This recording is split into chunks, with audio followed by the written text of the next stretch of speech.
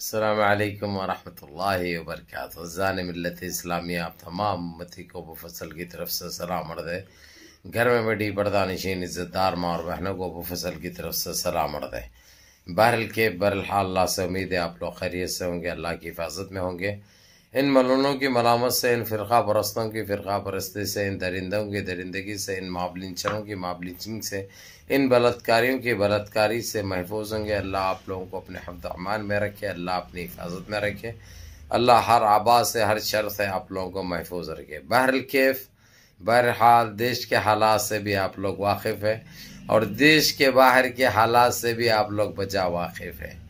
ऐसी ही एक खबर जीसीसी से मैं आप लोगों को बताऊँगा, जो तुर कुवैत और जो सऊदिया के बीच में जो तुर्की आ चुका है, सऊदिया की नींदें हराम हो चुकी है। मोहम्मद बिन सलमान एक वैशी है, एक जानवर है, एक दरिंदा है। ये तो आप लोग अच्छी तरह जानते हैं। जिस तरीके से उसने जुल्म उठाया है, वहाँ के शाही ख़ानदान के अपने से बड़ी उम्र के बुज़ुर्ग और ज़यीफ़ लोगों को जो कैदी बनाया है शाही, इसके खिलाफ कोई भी बात करने की ज़रूरत भी करा अगर जे तो उसका या सर खलम कर दे रहा, या मार मार के जैसे कुप्पा करवा दे रहा, या उनको जेल भेज दे रहा।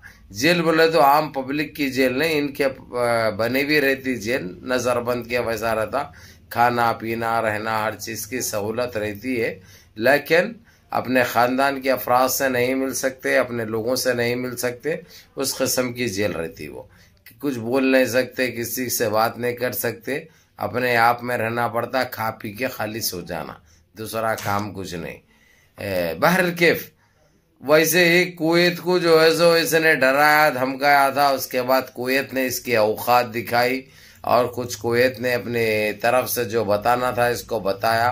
और कुवैत का बखूबी साथ दिया दोहा कतर, ईरान, तुर्की, वैसे तो सारे बहरीन वगैरह भी कुवैत के साथ ठहरे थे, लेकिन ये लोग बढ़ चढ़कर हिस्सा लिए। अब इसके ऊपर इसने माफ़ी नामा भेजा, टेलीफोन करके बात किया, लेकिन शेख नवाब बात करने से मना कर दिया, क्योंकि जो लहजा था मोहम्मद बिन सलमान का कल, आज बिल्कुल ट्यून बदले हुआ था इनका। और ये जलालत इनको होनी ही थी, इनकी औकात इनको दिखाई जानी थी। इन्हों अपने आप को बहुत बड़े बदमाश और बहुत बड़े तानिशाह समझ रहे थे।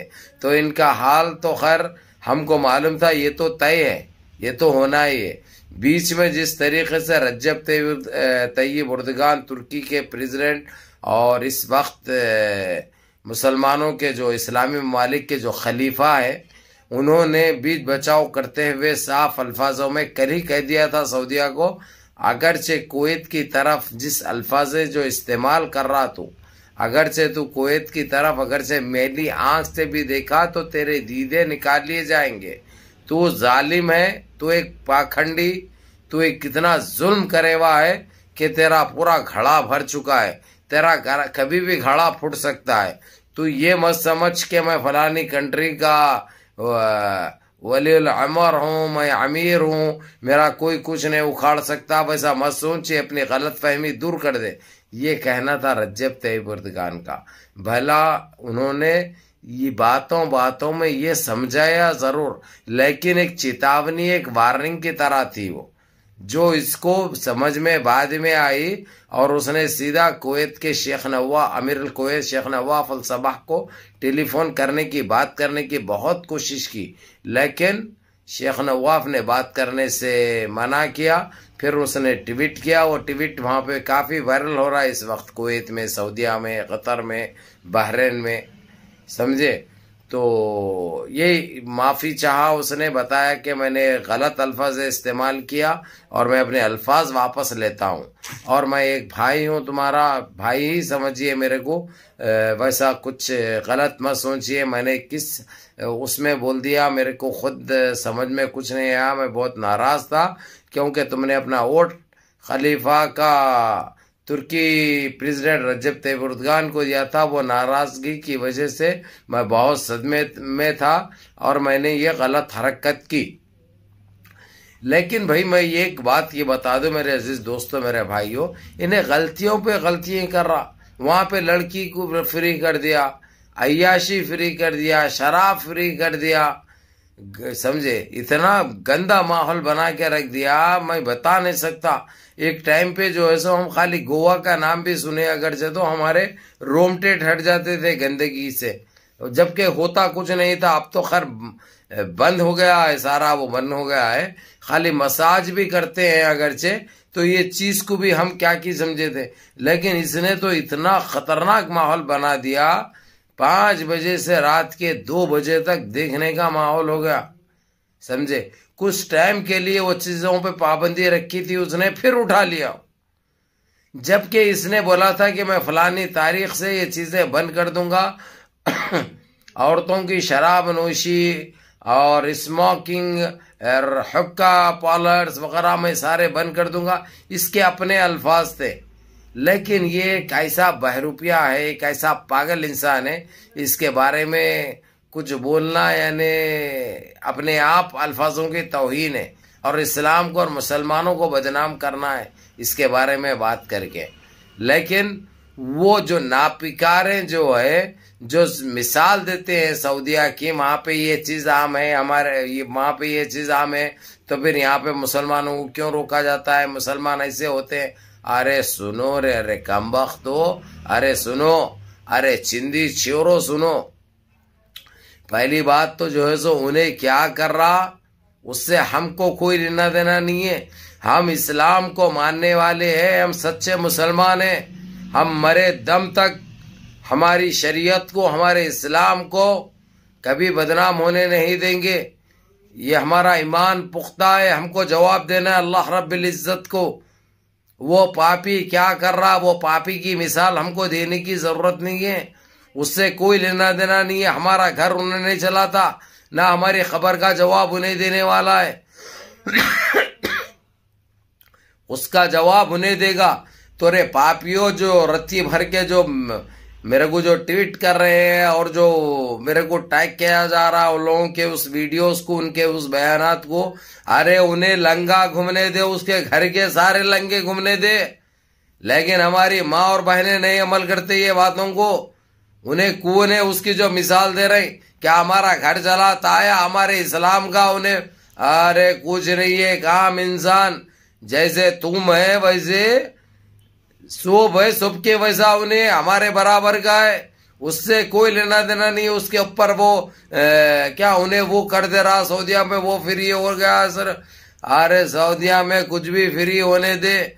हम जो मुसलमान हैं इनशाला ताला ता खयामत तक मरे दम तक इंशाल्लाह उसी पे अमल करेंगे। शरीयत के हिसाब से काम करेंगे। हमारे इस्लाम को और मुसलमानों को हम कभी रुसवा होने नहीं देंगे, बदनाम होने नहीं देंगे। हमको मौत का डर है, हमको खबर के अजाब का डर है, हमको आखिरत की फ़िक्र है। इसलिए मेरे अज़ीज़ दोस्तों, मेरे भाइयों, अपने अमाल सुधारो, नमाजों की पाबंदी करो, अपने गुनाहों की तोबा करो। ये पाखंडी साले ललचाने के लिए और गलत बहुत ऐसे बातें करते हैं, उसको नजरअंदाज करो। इनसे कोई लेना देना नहीं है। हमको हमारी आखिरत की फ़िक्र है हमको। इसीलिए दुनिया में क्या बोला जा रहा, सऊदिया की मिसाल इन्हों दे रही। और ये चट्टों को मालूम होना चाहिए, सऊदिया में और एक दूसरा कानून भी है।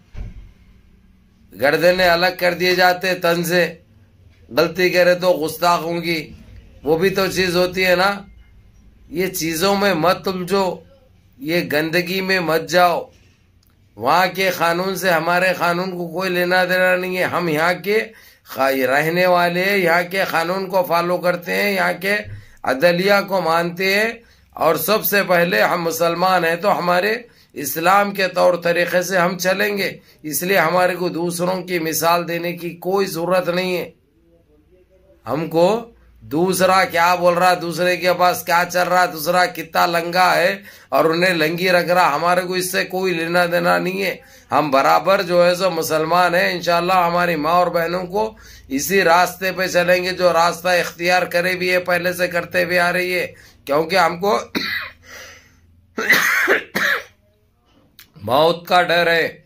अल्हम्दुलिल्लाह हमने वही जो गुनाहें करे हैं, उसी की तौबा मांग रहे हैं अल्लाह से। जाने अनजाने में जो गलतियाँ हुए इसीलिए ये नापिकारो अरे लिंडवो हमारे को ये वो मिसाल मत दो। हमको अल्हम्दुलिल्लाह दीन पे चलना है हमको सही रास्ते पे चलना है। हमको गलत किसी के साथ करना नहीं है किसी का हलाल खाने का नहीं है। तुम है नस्ल परस्तो और तुम है नस्ल हराम तुम है हरामी। तुम्हारे हमारा कोई मिलाप नहीं हो सकता और कोई ए, मिसाल हमको किसी की भी देने की ज़रूरत नहीं है। हम, अल्हम्दुलिल्लाह पाँच टाइम की नमाज़ भी पढ़ेंगे और अल्लाह को मानेंगे और बराबर जो हमको शरीयत में बताया गया है, उसके ऊपर अमल करेंगे। कोई कुछ बताने से या कोई कुछ करने से हमको उसके ऊपर कोई फ़र्क नहीं पड़ता, ना हमको कोई दिलचस्पी है वो चीज़ से। तो मेरे अज़ीज़, दोस्तों मेरे भाइयों मेरी माँ और बहनों मुनज़म रहिए मुतहद रहिए, अपनी सफ़ों में इतिहाद बरकरार रखिए, नमाज़ों की पाबंदी करिए माँ बाप की खिदमत करिए, बड़ों के हकाम पे अमल करिए और अपने इस भाई को भी दुआओं में याद रखिए। अल्लाम